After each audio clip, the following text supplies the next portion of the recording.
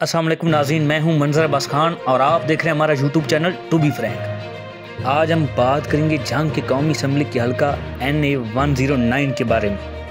कौमी असम्बली का ये हल्का तहसील जंग और तहसील शोरकोट के कुछ इलाके जिनमें हवेली बहादुर शाह शामिल है, उस पर मुश्तमिल है। 2024 के आम इंतबात में इधर से छः बड़े उम्मीदवार आपस में मैदान में हैं, जिनमें शेख वक्कास अक्रम, जिनमें शेख याकूब सैदा सुगरा इमाम, जिनमें साहबजादा महबूब सुल्तान, गुलाम बीबी भरमाना और माविया आज़म तारिक शामिल हैं।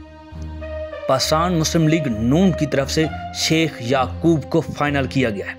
आपको बताते चलें, शेख याकूब राशिदा याकूब के हस्बैंड है, जो कि पिछली बार पीटीआई की तरफ़ से यहाँ से एमपीए थी। और इस बार भी एमपीए की उम्मीदवार है। जबकि पीटीआई की तरफ़ से इधर से तीन उम्मीदवार हैं, जिनमें से एक फाइनल होना है पीटीआई की तरफ़ से शेख वकास अक्रम, गुलाम बीबी भरवाना और साहबजादा महबूब सुल्तान जबकि साहबजादा महबूब सुल्तान और गुलाम बीबी भरवाना के कागजात मुस्तरद हो चुके हैं और एक ही नाम अभी तक है, जो है शेख वकास अक्रम। तो लग यही रहा है कि वो ही पीटीआई की तरफ़ से कंटेस्ट करेंगे। शेख फक्कास अक्रम ने हाल ही में पीटीआई ज्वाइन की थी और उनकी वजह से उनको काफ़ी मुश्किल का सामना भी है, जो कि 9 मई के वाक़ात की बात हुई है।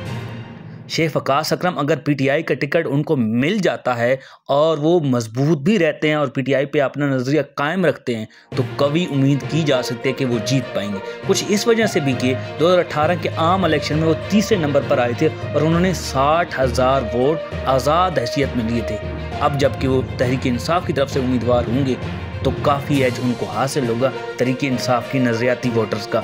इस वजह से भी क्योंकि यहाँ तहसील जंग शामिल है, जो कि शहरी इलाके पर मुश्तमिल है और शहरी इलाकों में पीटीआई का वोट बैंक काफ़ी है। दूसरी जो पीटीआई की यहाँ से एमएनए रही हैं 2018 से गुलाम बीबी भरवाना, जिन्होंने एक लाख से जायद वोट लिए थे, वो भी इसी हल्का से उम्मीदवार हैं। लेकिन उनके कागजात नामजदगी मुस्तरद कर दिए गए। अब देखते हैं क्या उनके कागजात नामजदगी एक्सेप्ट किए जाते हैं या नहीं।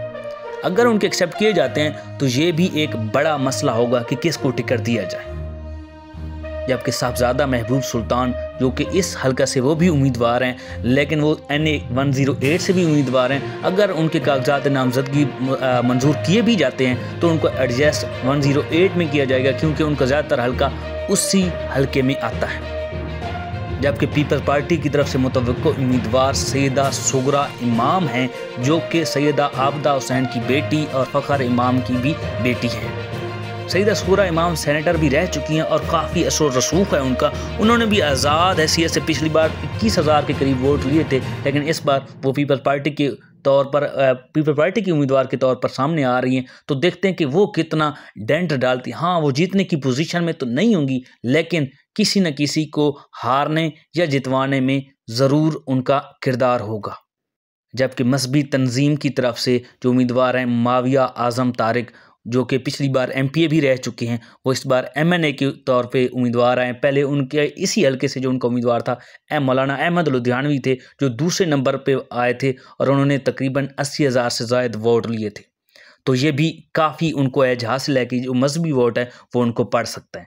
अब असल मुकाबला पीटीआई के उम्मीदवार शेख वकास अक्रम और जो मजहबी उम्मीदवार हैं, मौलाना माविया आज़म और तीसरे जो उम्मीदवार हैं, मुस्लिम लीग नून के शेख याकूब के दरमियान होगा शेख वकास को कुछ इस वजह से एज हासिल है कि उनको पीटीआई का मोस्टली वोट पड़ जाएगा, जिसकी वजह से वो जीतने की पोजीशन में नज़र आ रहे हैं।